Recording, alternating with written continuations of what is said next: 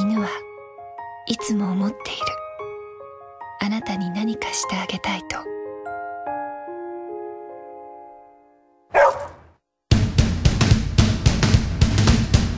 あきらちゃんと座りなさい。行儀の悪い子。リンゴはどっち？リンゴは。はいはい。あーよくできました。これはあなたの物語家族のように寄り添って家族以上に愛しちゃう。身代金200万用意しろ。よく似合いそうに。マリは無事なのか？声を聞かせてくれ。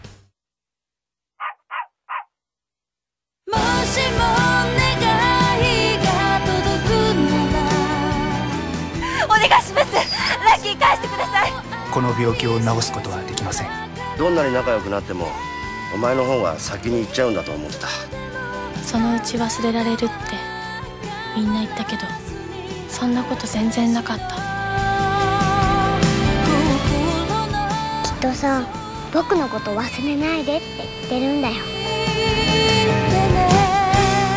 楽しい時泣きたい時苦しい時嬉しい時いつもそばにいてくれたのはあなたでしたルトあなたの物語。